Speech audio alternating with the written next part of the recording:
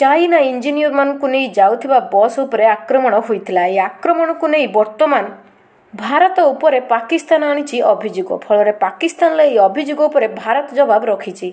ବୈଦେଶିକ ମନ୍ତ୍ରଣାଳୟର ମୁଖପାତ୍ର ଅରିନ୍ଦମ ବାଗ୍ଚି କହିଛନ୍ତି ଯେ ଆନ୍ତର୍ଜାତୀୟ ସମୁଦାୟର ଦୃଷ୍ଟି ଆକର୍ଷଣ କରିବା ପାଇଁ ପାକିସ୍ତାନ ଏଭଳି ଏକ ଭିନ୍ନ ପ୍ରୟାସ କରୁଛି। ସେ କହିଛନ୍ତି ଯେ ଭାରତକୁ ବଦନାମ କରିବା ପାଇଁ ଏହା ପାକିସ୍ତାନର ଆଉ ଏକ ଷଡ଼ଯନ୍ତ୍ର। ଆଞ୍ଚଳିକ ଅସ୍ଥିରତା ଏବଂ ସେଠାରେ ଆତଙ୍କବାଦୀକୁ ରଖିବାରେ ପାକିସ୍ତାନ ଆନ୍ତର୍ଜାତୀୟ ସମ୍ପ୍ରଦାୟର ଧ୍ୟାନ ହଟାଇବା ପାଇଁ ଚେଷ୍ଟା କରୁଛି। ପାକିସ୍ତାନର ବୈଦେଶିକ ମନ୍ତ୍ରୀ ଶାହା ମେହଦୁଦ କ୍ୟୁରେସି ଅଭିଯୋଗ କରିଥିଲେ ଯେ ଗତ ମାସରେ ଖେବର ପକ୍ତୁଆନା ପ୍ରଦେଶର ଏକ ବସ୍ରେ ଆତ୍ମଘାତୀ ଆକ୍ରମଣ ପଛରେ ଭାରତ ଏବଂ ଆଫଗାନିସ୍ତାନର ସହଯୋଗ କରିଥିଲେ।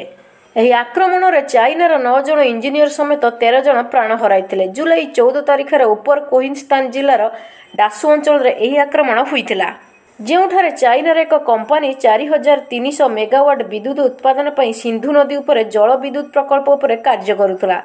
ଯେତେବେଳେ ଚାଇନାର ଇଞ୍ଜିନିୟର ଓ ଶ୍ରମିକମାନଙ୍କୁ ନେଇ ଯାଉଥିବା ବସ୍ ବସ୍ ନିର୍ମାଣାଧୀନ ଦାସୁ ଡ୍ୟାମ୍ ସ୍ଥାନକୁ ଯାଉଥିଲା।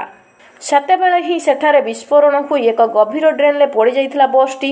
ଅନୁସନ୍ଧାନ ଶେଷ ହେବା ପରେ ଇସଲାମାବାଦର ଶାହା ମଦୁଦ କୁରେସି କହିଛନ୍ତି ଯେ ଏହି ଆକ୍ରମଣରେ ବ୍ୟବହୃତ ଗାଡ଼ି ଆଫଗାନିସ୍ତାନରୁ ଚୋରାଚାଲାଣ କରାଯାଇଥିଲା। ଭାରତୀୟ ଗୁପ୍ତଚର agency research and analysis wing ଏବଂ ଆଫଗାନିସ୍ତାନର ନ୍ୟାସନାଲ ଡାଇରେକ୍ଟର ଅଫ୍ ସିକ୍ୟୁରିଟିକୁ ଏହି ଆକ୍ରମଣ କରିଥିବା ସେ ଅଭିଯୋଗ କରିଥିଲେ।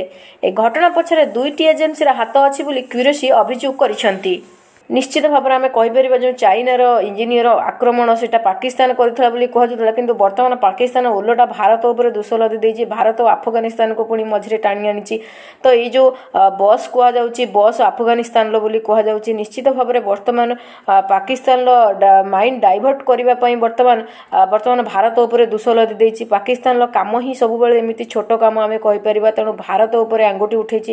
ତେଣୁ ନିଶ୍ଚିତ ଭାବରେ ଏହାର ଜବାବ ଦେଇଛନ୍ତି ପ୍ରଧାନମନ୍ତ୍ରୀ ନରେନ୍ଦ୍ର ମୋଦି ନିଶ୍ଚିତ ଭାବରେ ଆଗକୁ କେବେ ବି ଏମିତିକା ଅଭିଯୋଗ ଆଣିବାକୁ ସାହସ କରିପାରିବନି ଆଉ ପାକିସ୍ତାନ। ତ ଏସବୁ ବିଷୟରେ ଆପଣଙ୍କର କ'ଣ ମତ ରହିଛି? ପାକିସ୍ତାନର ଏମିତି କଥା ଭାରତକୁ ନିଶ୍ଚିତ ଭାବରେ ଆପଣମାନେ କମେଣ୍ଟ କରନ୍ତୁ। ରହୁଛି ନମସ୍କାର।